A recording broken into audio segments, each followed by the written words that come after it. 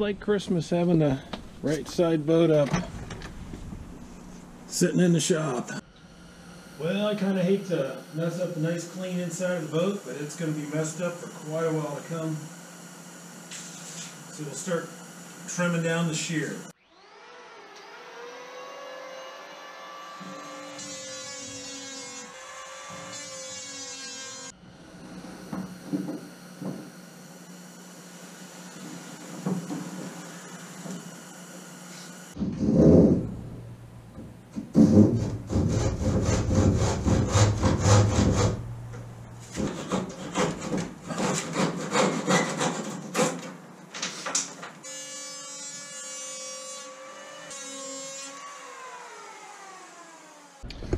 So what are we trying to do here? Uh, the reference line is right where the shear goes to zero up against the plywood on a level across to the other side.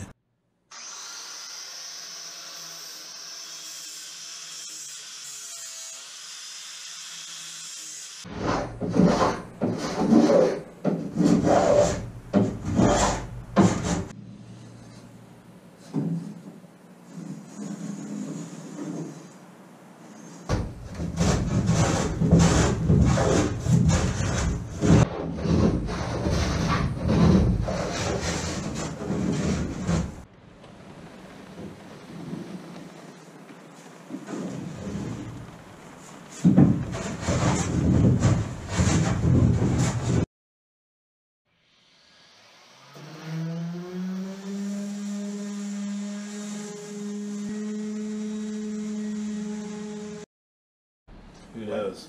Plan success story round two. Blanton success, table leg repair, round two. Dang, ain't better Well, milestone on this uh, project. I posted the first video to a new YouTube channel. uh, so we'll see how that goes. Uh, we are ready for the big interior epoxy. As you can see, I have cut out um, pieces of cloth. Most of this I was able to get out of the leftovers from the hull especially toward the bow and stern. Large pieces got cut off, if you remember. So, uh, in the past, I haven't bothered to glass uh, these forward sections or the sides. I think there's plenty of strength. New pump. I was in the middle of the big epoxy, and this pump broke. I really thought I was screwed but fortunately I had an extra replacement sitting around ready to go. So took the opportunity to also replace the hardener pump here.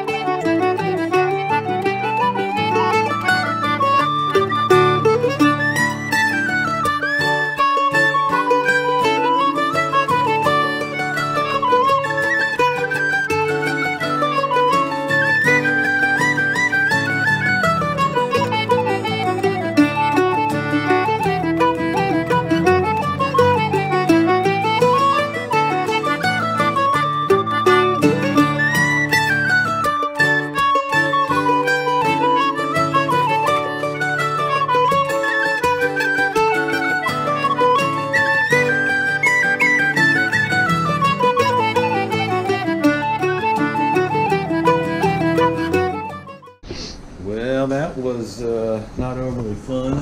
Had some bunch of junk in here. Maybe I didn't clean out as well after laying this stuff in here. I'm not sure. Tried twice to take this up and get these bubbles out, and I think they're more than bubbles, and I tried to get debris out and couldn't find debris. So we'll see. When that starts curing up, I guess we can sand through it and maybe even patch it if necessary. But loving that contrast of the sapele and the bright birch. And uh, pretty much got all of the surfaces that hadn't been coated yet started. Laid a bunch of extra down in this seam, let gravity feed it in where it wants to go. Same along the uh, keelson. And uh, when that's just beyond tacky, we'll come out and do another pass on the glass. Alright, uh, just barely tacky in spots. Uh, coat one epoxy here. Like this is not tacky at all. So I think we're gonna go ahead and do second coat of epoxy.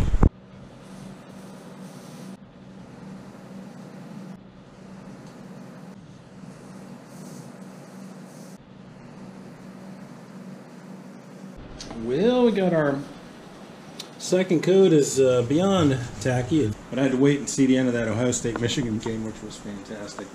So we'll put our third coat on.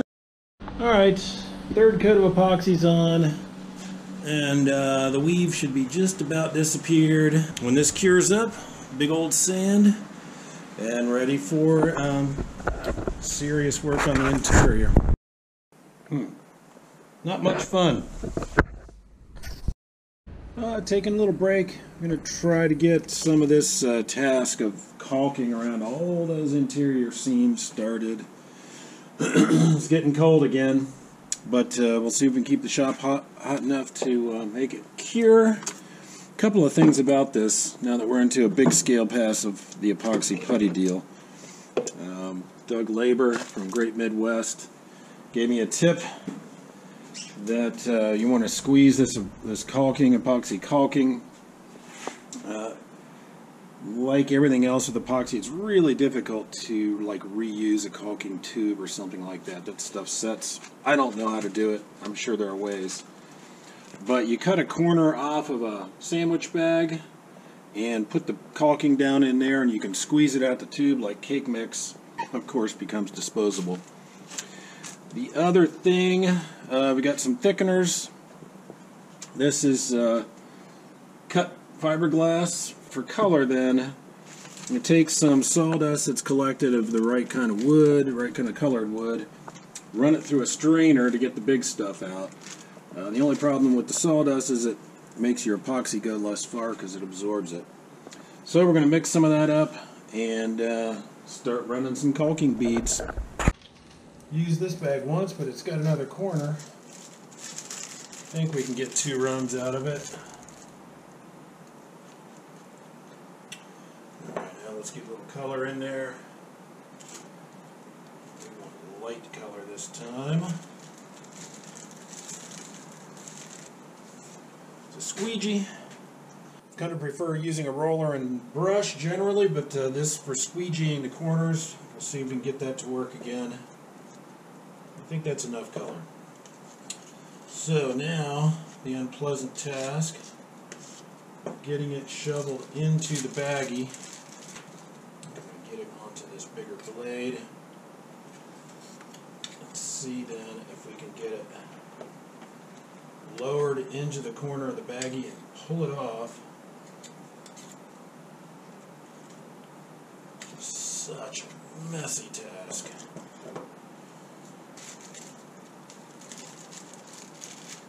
Down into that corner as far as it'll go.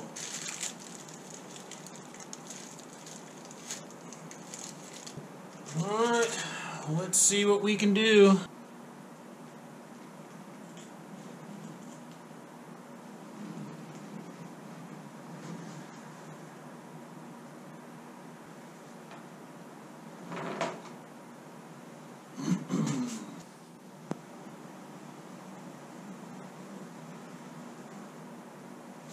That is one unpleasant job. Um, we got a pass around everything but up underneath the shear, which I elected to run a brush along because I think the underside of that wood was actually dry. Well, it's really winter. I think we managed to get the putty, a major round of putty yesterday to cure, and uh, even let the shop get a little colder last night. And there's a little bit more of this nasty job up underneath the shear. But it's worth it.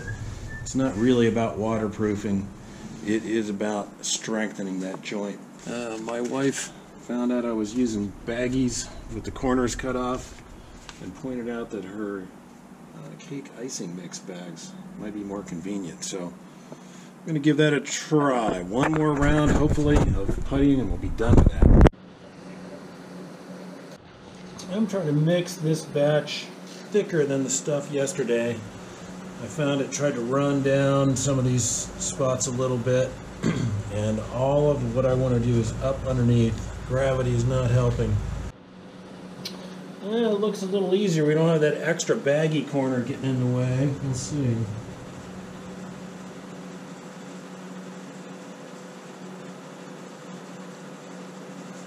Hmm. That seems significantly easier.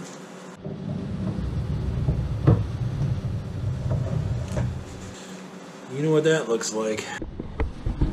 I also reinforced this uh, weak spot across the chine where we had carved down very close and smeared in uh, by hand underneath there while it was upside down. Try to make sure we get a good bead along there.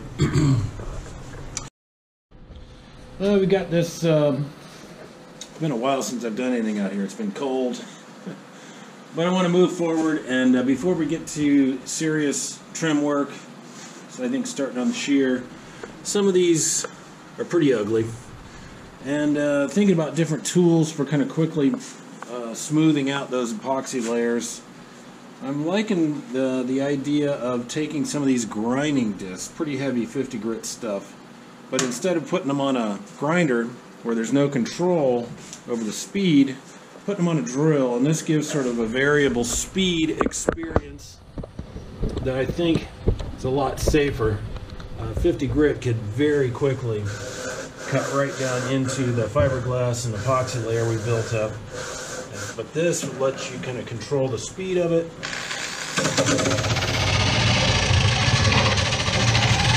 Keep working away, probably use a combination of different tools. Uh, this seems to work pretty well for cases like this, where you've got some lumps in a caulking bead, and we want to just kind of turn it into more of a finished surface.